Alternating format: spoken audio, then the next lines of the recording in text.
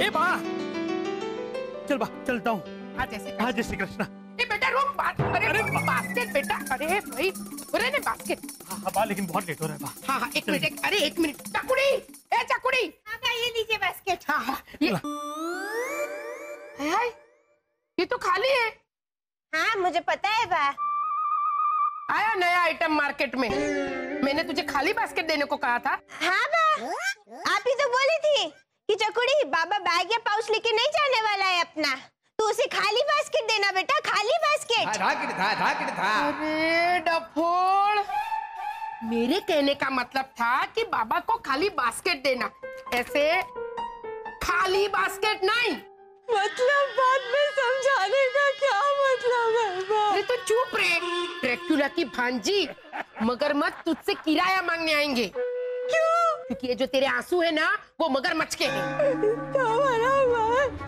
बा बा बा बा, बा, बा छोड़ने। बा तुझे तो पता है ना बा खाने के वक्त भी मुझे काम से फुर्सत नहीं मिलती। कल तो इतना काम था इतना काम था कि मैं अपनी जगह से हिल भी नहीं पाया बोल।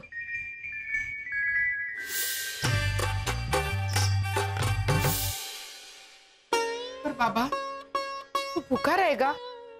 बा मेरे दो बच्चों का पेट भरने के लिए अगर मुझे भूखा भी रहना पड़े तो एक बाप के लिए सौभाग्य होगा वंस मोर!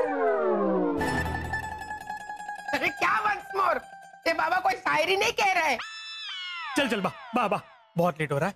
मैं अपने लिए चीज़ ग्रिल सैंडविच और वो छोले समोसे मंगवा लूँगा। सेम मज़ा आएगा। चल बा चलता हूँ। जय श्री कृष्ण। जय श्री कृष्ण। बाय भैरू। आराम से जाना बेटा। ए हाँ। हाय हाय। मेरा मेहनती बेटा। चकुड़ी आज दोपहर को हम ही जाएँगे बाबा की दुकान पे कुछ लेके और उसके बॉस की अकल को भी ठिकाने लगा के आएँगे। देखना तू। टॉफी ये हमारा जिगरी दोस्त Ronnie Ronnie D'Souza. Hi Ronnie. Hi. तुम्हारे बारे में बहुत बातें करते हैं ये। तुम वही हो ना जो हिंदी में थोड़े कच्चे हो गुस्सा जिसकी नाक पे रहता है और जो कुर्सी टेबल बेचता है। ही ही मत करो। एक्सक्यूज मी मिस टॉफी मैं ऐसा कुर्सी टेबल रास्ते पे नहीं बेचता है। ए, कुर्सी टेबल ले लो कुर्सी टेबल ले लो। कुर्सी टेबल बनाने का मेरा तहखाना है। कारखाना कारखाना होता है झालर। तुम समझा ना? अभी वो अ, वो अ, एक मिनट मैन वो अपना पा पिक्चर के डायरेक्टर का नाम क्या है? मैंने पा देखी नहीं है मुझे नहीं पता। मैंने तुमको पूछा ही काई को। पा पिक्चर के डायरेक्टर का नाम क्या है? बाल्की। हाँ अभी बाल की खाल मत निकालो। बाल की खाल का तूने बाल की खाल किया झालर? तुम समझे ना? हाउ स्वीट और ये? ये इनका बेटा पच्चीस साल का है। हाँ हाँ पता है पता है। और मुझे तो अब जानती है। जूस मैं बना कर पिला हाँ। हाँ पता है पता है। टॉफी ये मानव है मानव। और मानव ये टॉफी है। पाँच हुआ बेटा। पापा आप ये क्या बोल रहे हैं? ऐसे पाओ मतलब पाँव तो छूने पड़ेंगे ना बेटा। क्योंकि ये थारी ये कैसी बातें कर रहे हो जानू? रोनी सुना? I mean I am sorry Manav. अगर मैं तुम्हारे पापा को जानू कह के बुलाऊं? तुम्हें कोई एतराज़ तो नहीं है ना? है। मुझे कोई एतराज़ नहीं है लेकिन लेकिन क्या मानव तुम यही सोच रहे हो ना कि मैं चंद दिनों में तुम्हारे पापा के इतने करीब कैसे आ गई? भले जूस मैंने बनाया। अरे चुप रे घोटाला प्लीज़ मुझे इनसे इतना लगाव क्यों हो गया? सच पूछो तो हाँ। लगाव तो होना ही था।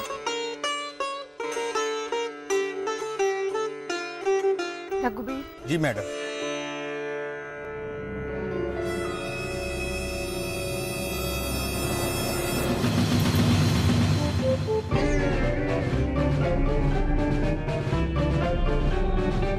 ये घोटाला ये तो एग्जैक्ट अंकल ओझा जैसा दिखता है मैन हाँ।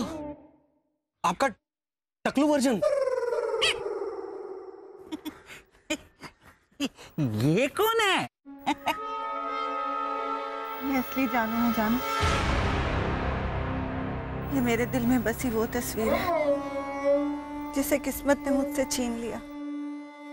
एक कार एक्सीडेंट में इनकी मौत हो गई। और मेरी सारी दुनिया उजड़ गई।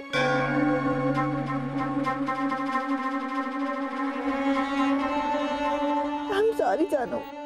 देखा तो ऐसे लगा जैसे भगवान ने मेरी जानू को मुझे लौटा दिया। ना टॉफी ना।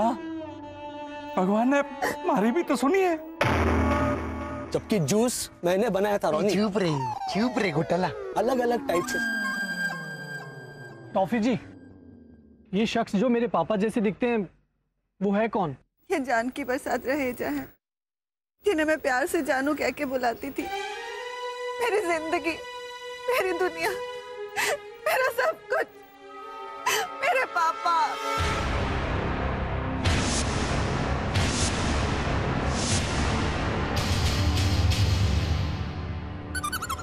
रोनी रोनी नहीं नहीं नहीं। आपको देखकर ऐसा लगा जैसे मैं बरसों से आपको जानती हूँ। ऐसा अपनापन कभी किसी के लिए महसूस नहीं हुआ मैं आपको जानू करके बुला सकती हूँ। ज़रूर टॉफी जी। तो सबसे पहले जी हटा दीजिए मेरे नाम से। टॉफी।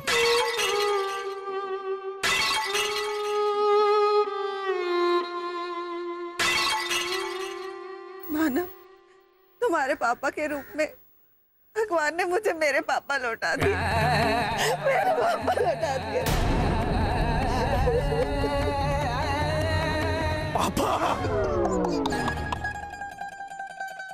हाँ घोटाला। और आज मेरे पापा का जन्मदिन है। आज ही के दिन पापा पनवेल के एक वृद्धा आश्रम जाकर बड़े बुज़ुर्गों की सेवा किया करते थे।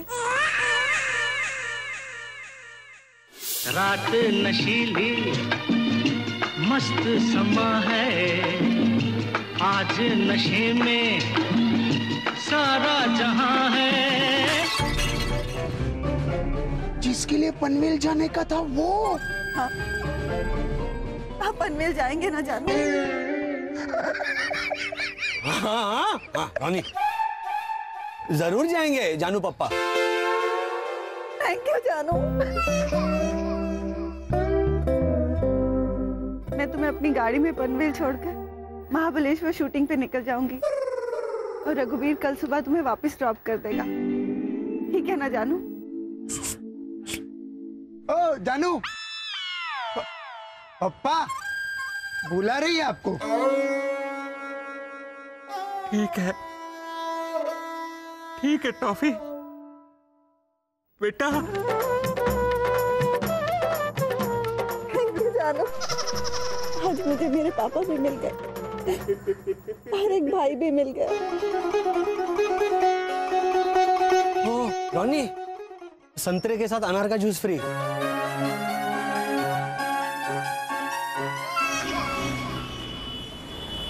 हाँ सत्ताईस ज़ीरो वन है। कॉफ़ी कलर लिख लीजिए इसमें। है ना कॉफ़ी है यही दुकान। ब्लू है रेड है। नहीं यही दुकान नहीं है। बाहर जहाँ कपड़े मिल रहे थे वो भी दुकान थी। और आते आते जहाँ पे हमने ठंडी लस्सी पीना वो भी दुकान थी। क्या यही दुकान है? ओहो यही दुकान है पूरी दुनिया में ऐसा नहीं कह रही हूँ। बाबा जहाँ काम करता है वो यही दुकान है ऐसा बोल रही हूँ बरोबर अरे जी कहिए बहन जी क्या मदद कर सकते हैं हम आपकी? भाई साहब तो हम बाबा से मिलने आए हैं। बाबा कहाँ है? बाबा क्या बात कर रही है बहन जी? ई कोनो आश्रम नज़र आ रहा है आपको जो यहाँ प्रवचन देने वाला बाबा मिलेगा? अरे बाबा मेरी गलती। बाबा मतलब भद्रेश भद्रेश का है? अच्छा अच्छा ऊ गुजराती।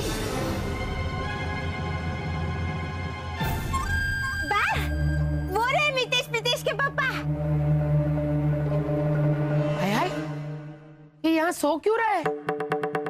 बेचारे थक गए होंगे बा। क्योंकि ये भाई साहब उनसे बहुत ज़्यादा काम कराते हैं ना? अरे बहन जी तनिक आराम से बात कीजिए। ठीक है।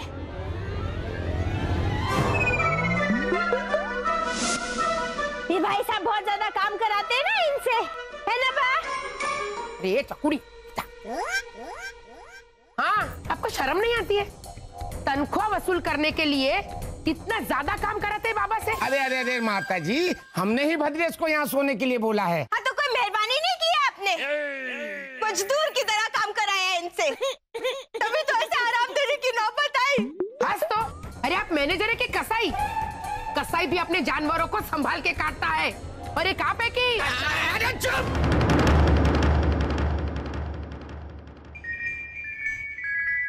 माता जी आपका भद्रेश यही काम करता है।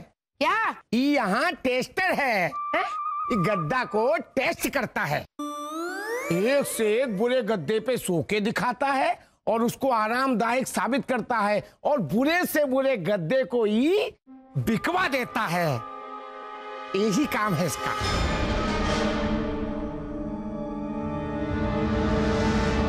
मतलब मेरा बद्रिश यहाँ दिन भर ऐसे गद्दे पे? हाँ, हाँ, हाँ। कभी इस गद्दे पे कभी उस गद्दे पे। मैं उसको भेजता रहता हूँ सोने के लिए। आज तो दुकान में भैरू एक मिनट के लिए भी खड़ा नहीं था। एक भी मिनट नहीं है? कभी मुझे इधर भेजता था तो कभी उधर भेजता था। रुक! भाई साहब इसे पैक कर दीजिए। ये गद्दा? गद्दा नहीं बाबा को पैक कर दीजिए। और साथ में एक डंडा भी देना। डंडा? हाँ। से रुई के गद्दों में गांठ पड़ जाती है तो उसे खोलने के लिए डंडे से मारते हैं ना? वैसे इसके दिमाग की गांठ खोलने के लिए एक डंडा चाहिए। डंडे डंडे से फटकारूँगी इसको। कहा बाबा।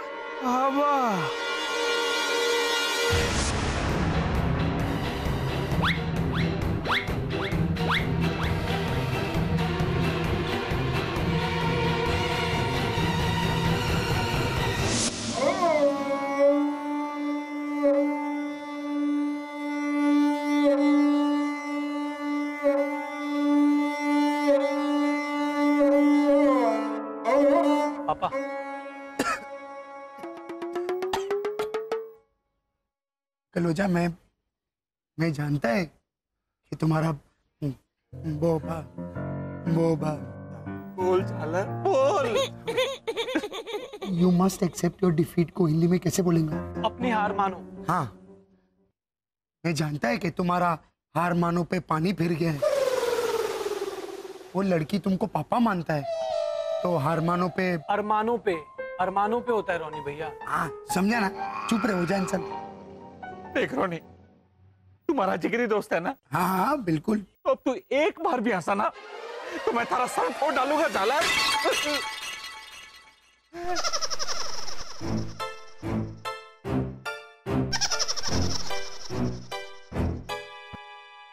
सब ठीक हो जाएगा अंकल हो ये तुम्हारा दोस्त है और ऐसा टाइम पे मैं नहीं हंसेगा। रोनी।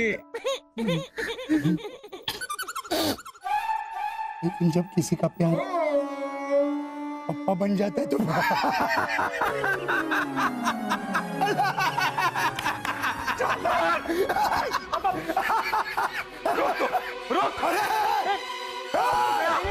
अरे, बुढ़ा रोक तो झाला अरे, पागल हो गया ये।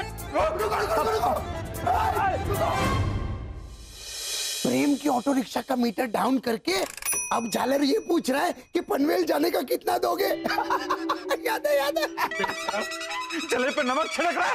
रोक झाला रोक अरे रुको। रुको रुको। मुझे किसी भी कीमत पे लेके चलो।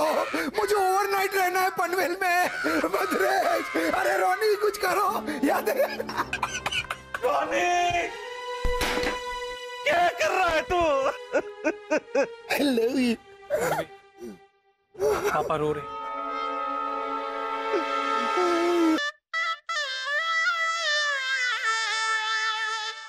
चामिन अंकल ओझा हर होते रहता है तुम मैन अंकल ओझा तुम एक्चुअली बहुत लकी है। सही टाइम पे तुम्हारा गलत फहमी दूर हो गया। हाँ। सोचो अंकल ओझा अगर तुम प्यार में अंधा होके उस लड़की को कुछ उल्टा सीधा बोल देता तो? बेचारी का दिल टूट जाता। उसको कितना बुरा लगता। Man. पापा दोस्त समझकर आपने दिल की बात की थी ना? तो दोस्त समझकर बता रहा हूँ। घर बचा तो लाखों पाए। सोचे अगर माँ को बता दिया होता। और फिर पता चलता कि टॉफी के यहाँ तो रॉन्ग नंबर लगा है तो घर की लाइन भी डेड हो जाती। फिर अंकल हो जा। धोबी का कुत्ता। ना घर का ना वो बा, वो बा, दा। वो पान मसाले को क्या बोलता है? गुटखा। हाँ। धोबी का कुत्ता हो जाता। ना घर का ना गुटखा। घाट का घाट का होता है झालर घाट का अभी घाट का और गुटखा में घुसेंगा। अरे शुक्र मानो कि आंटी लाजो को लाजो। मारे और टॉफी का सच बताती हुई एक चिट्ठी लिख कर दे देना मारी लाजो को। लाजो वर्षा की माँ। वो भी? हेलो? हेलो? मानव के पापा? हाँ वर्षा की माँ। आपने मारी और टॉफी की बात? हाँ हाँ पता है वो बूढ़ा घोड़ा लाल लगाम वाले किस्से की बात ना। अरे डोंट वरी मैंने सब कुछ एक चिट्ठी में लिखकर लाजो जी को दे दिया दो घंटे पहले।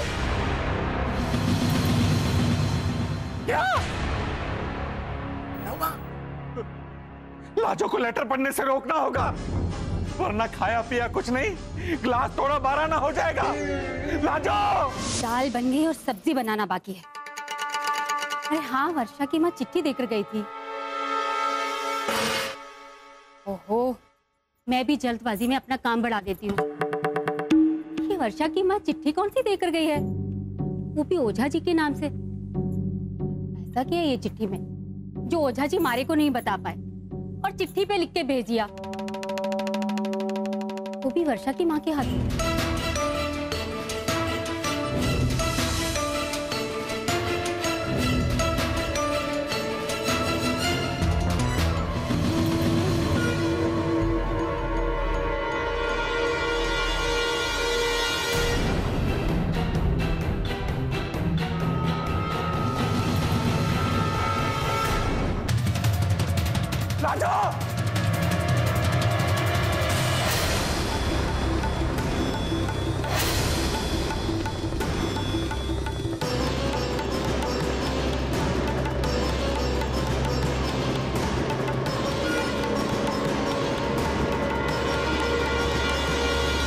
क्या है ओझा जी। ये ये वो ये ये ये एक मिनट। आंटी लाजो ये अपने ख्यालों में वो वैसा वो ब, वो ब, अरे झालर ऐसे टाइम पे कोई कैसे अटक सकता है? अरे एक minute man give me school fees को हिंदी में कैसे बोलेंगा? स्कूल फ़ीस ला। हाँ आंटी लाजो अंकल ओझा अपने ख्यालों में फीसला था असलियत में नहीं फीसला था। फिसला था फिसला था होता है रोनी भैया। ओ ओझा एंड सन्स तू समझा ना? नहीं नहीं फिसला था का फीसला नहीं चलता भैया। तू चुप रहे। तू चुप बैठ। और ये के के बोल के रहा है रोनी? माँ चिट्ठी में जो लिखा है ना वो वो एक मज़ाक था। ये ये मज़ाक था। वर्षा की माँ के हाथों आपने ये भेजा? ये?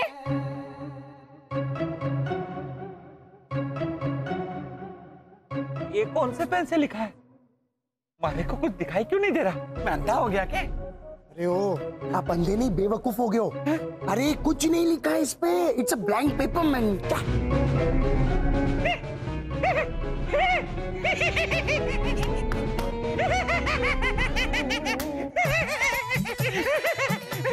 यही यही तो मज़ाक था लाजो कि मैंने वर्षा की माँ के हाथों कोरी चिट्ठी भिजवाई। यही मज़ाक था। यही मज़ाक था Lajo I love you Lajo. I love you तुम्हारा रूप मस्ताना।